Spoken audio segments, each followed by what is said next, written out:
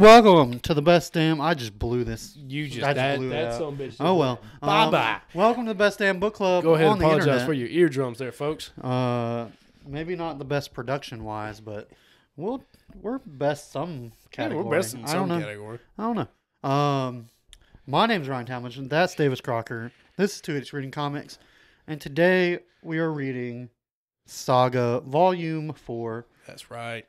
I kept trying to remember the No, name. no, volume five. Volume Volume five. five? We've messed it up twice now. I can always take the beginning out. It'll be all right. um, I always try to remember the name of the volumes, but this is like Saga doesn't name their volumes. No, it's just They don't name their story It's arcs. just volume five. So, yeah. Um, go ahead, credit people, I guess. As always, we got our writer Brian K. Vaughan, artist Fiona Staples, lettering and design, Fonografiks, and coordinator Eric Stephenson. So, Davis. Yeah, Um, this will be the third episode of March for these people, but that's right. this is the first one we're recording for this month. Uh, you read anything good lately? Like what you've been reading outside of the five we're doing for this month? You read anything fun? so I think we touched on it when doing the uh, the Star Wars Bounty Hunter episode. Mm-hmm. Uh, they just finished up with the Star Wars Bounty Hunter massive crossover um, hunt for Han Solo. Uh, he was frozen in kryptonite, handed over to Boba. Boba lost him. Carbonite, What did I say? Kryptonite. God dang, I thought I was gonna fuck up Superman. man, carbonite.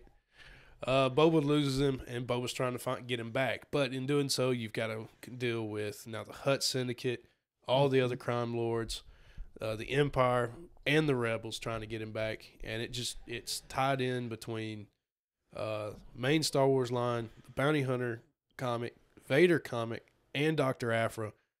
Um, it, it's just it's fun. It's a lot of stuff. Uh, I- I'll look forward to when they actually release like a um, full Collected. collected, That'd edition be cool. and actually do that in order. Speaking of, Because cause in the back it shows you, all right, this is the ones you need to read this month. uh huh. Then this is next month's. This is the order you need to read them in. I'm such a big fan of like preferred or like when they put out, hey, read it in this order.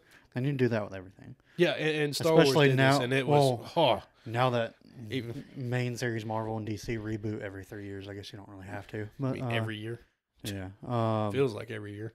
but speaking of collected editions, whew, um, Yeah, how about you and and your yeah, extracurriculars right now? um, I I've read like I've gotten one thing knocked out on my reading list, but I bought a bunch more, um, including the hardcover collected versions of Pow- Mighty Morphin Power Rangers. yeah, by Boom Um, Studios. We both missed out on the Kickstarter, Oh, and so I freaked out and was like, "No, I definitely want a collected version of that. Let me go get the ones they have been doing." Because I think there's only like one more left that comes out this summer. I'm pretty sure it's like It's like volume necessary, yeah, came necessary out comes out in evil part two, April. Something. But then like after they can't release the hardcover until like the story's completely finished. Right, right. Um, so I freaked out and went and bought the previous five that have already come out. What I didn't know is that the first three are out of print. Yeah. And so I spent more money.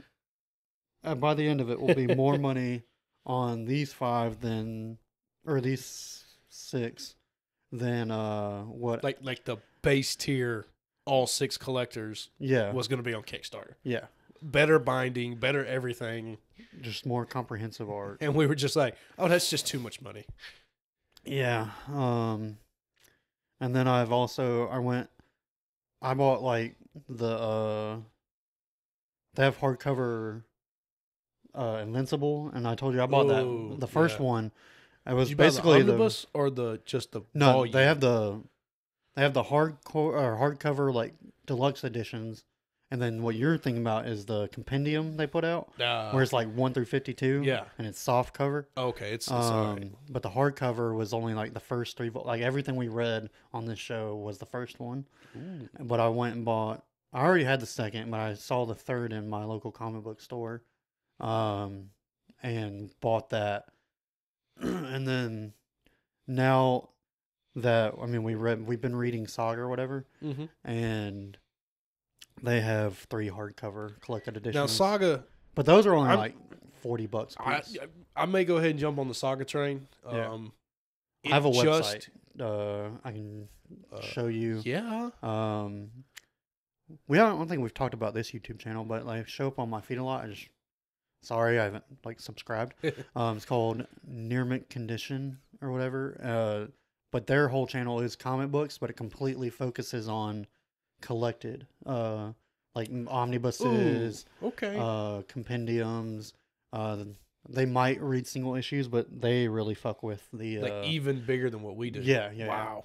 Um, and so like he will do his like top ten collected uh that comes out this year. Where I find a lot of ideas for this, honestly. Cool. Um, but uh, there's a website. Unfortunately, they're all over his channel, so go check them out, subscribe to them. But they don't pay us to advertise. So No, I'll tell yeah, you no, later. No, no sponsors. Yeah, um, I'll tell you later. Um, but there's a website that does specialize in collected versions. Okay. Um, and they're supposedly cheaper. Now, something I did find out uh, Uh-huh. this week, uh, getting Volume Five for Saga, uh, on Comixology again, not a sponsor. Love the hell out of them. Wish Yeah. they were. Yeah. Uh, they had on their main feed was Mhm. new issue of Saga. Yeah. Like, oh, maybe it's just volume whatever. Yeah. It's they've collected it. Click on it. Issue fifty five, January seventeenth, Mm-hmm. two thousand twenty two. They restarted, or they have they they they started it back, and I they knew- stopped in eighteen. So there, there's been a I knew they were taking a two break. I didn't know it was going to be they they stopped because five I went back June well four 18, 19. yeah. Holy shit, Oh. yeah, it is. June they stopped in June of 18 and they just started back up in January of 22. So I knew because I mean it was like the most popular comic book at the time when we were in college, and I knew remember like seeing like headlines that Saga creators uh are going to take a break. Never expected it to be this long. three and a half years. Yeah.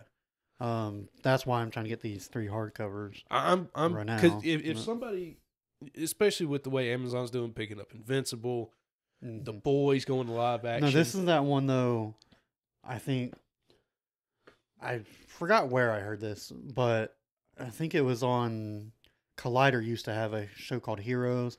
Had a bunch of YouTube like movie reviewer personalities. I want to say I heard it there. Um, shout out Jon Schnepp, R.I.P. Uh, he was awesome to watch when I was like super into that channel.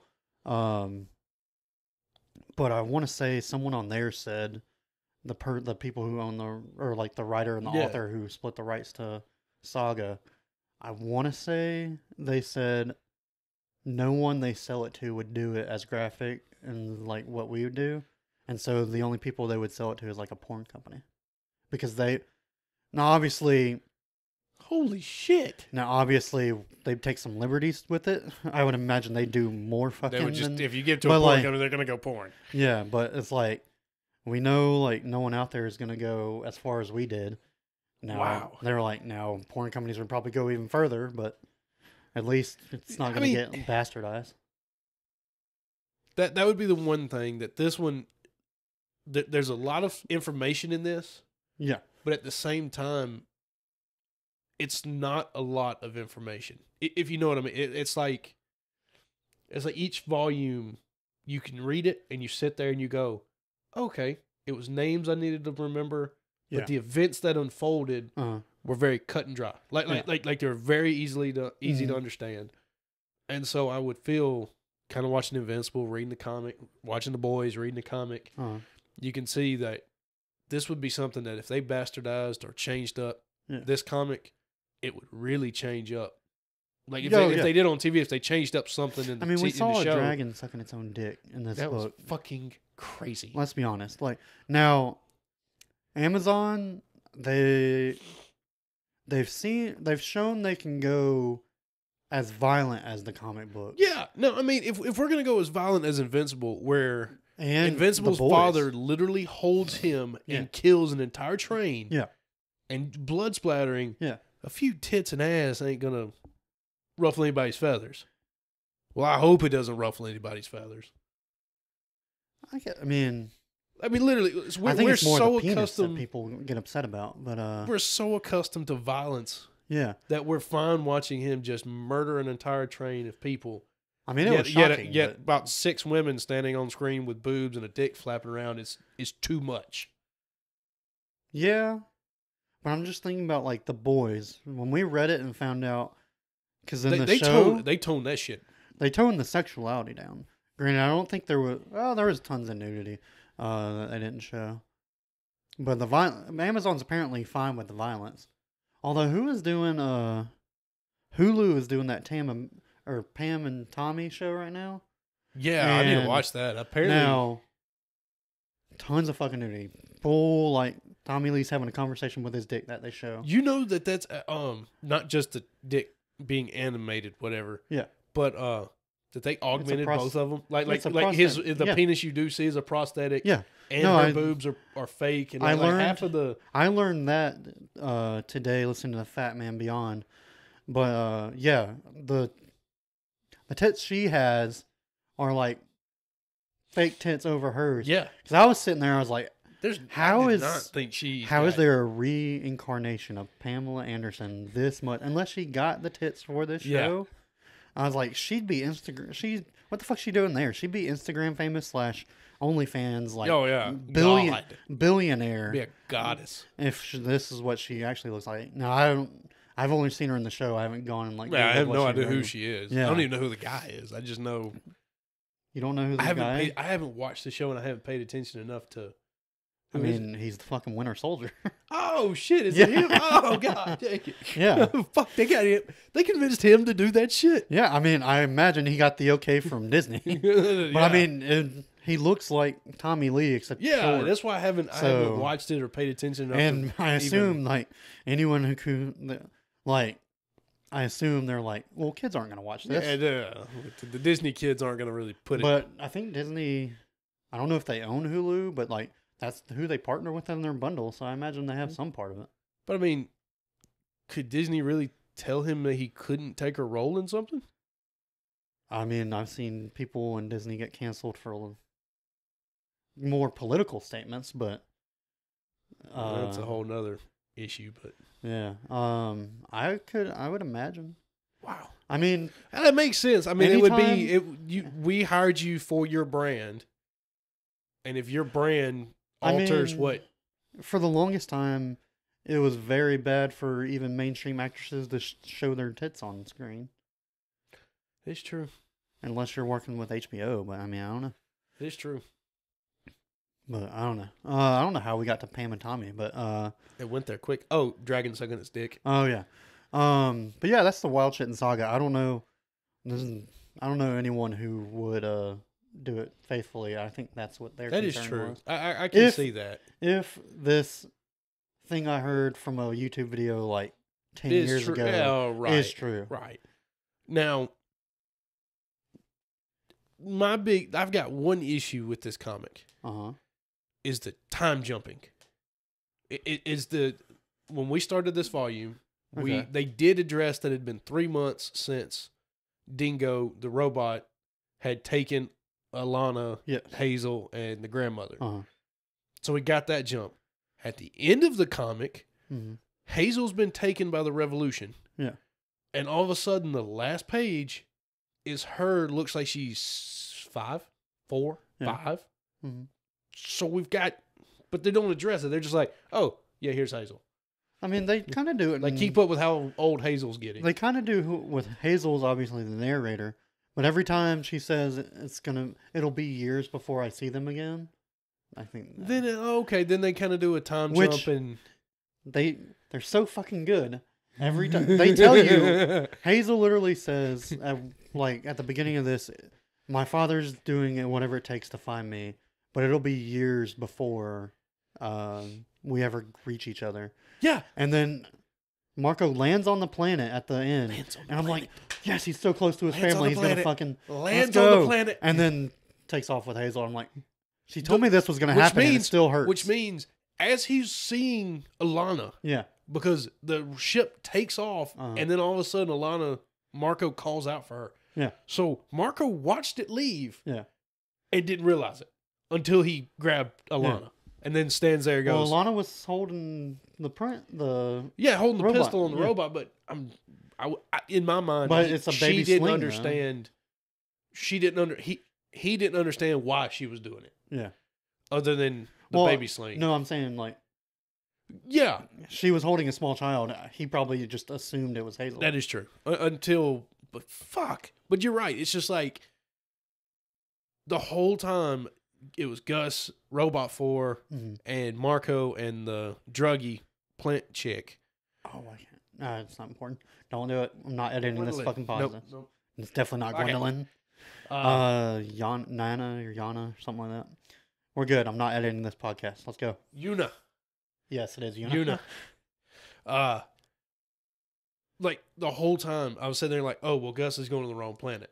Like that's where I was thinking it was going. Is when she said it was gonna be years before, I thought Gus was gonna be that, but then, I thought like, Gus was gonna be going to the wrong But when they landed, crash landed on that planet, and Yeah. he was like, "This is where they are, right?" And he's like, "I can feel the wall, their your pet walrus." Yeah. So if they're in the same place, then yes. But and then and I then was, I was like, sitting there oh, yeah, but no. Um, how about the will? I'm glad the will's back, but I did not see them killing the brand. Like Like what that, the fuck? That caught me out of nowhere. Like what the fuck? I literally went, "Holy shit!"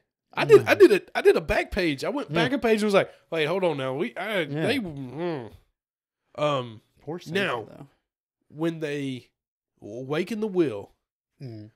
they say that he's been under for years. Well, yeah, you got to think at the When he went under, Hazel was a like like little. an infant, right? Yeah, because like he went down, not even volume four, at the end of volume three. Was it even that? Yeah, it was volume three, and then uh That's right, because they were in their his ship. robot like They landed on the planet that was fucking with their brain if they ate food. Yeah. The or the slave girl stabs him. Mm-hmm. Holy shit! And she is Yeah. a ch- god dang. Because then last uh volume was like them trying to figure out and meet the brand and all that. But so yeah, and Fuck. Hazel was an infant, and then when we pick up volume four, like they had been living on that planet for a while. Hazel had already gotten to where she can talk. And walk on her own. Yeah. Uh, Lana was like uh, a couple years into being on that TV show or whatever. Wow. So Yeah, see, that's where the time. Oh man. But other than that, ooh, we got another fun fact. I got another statue to get you.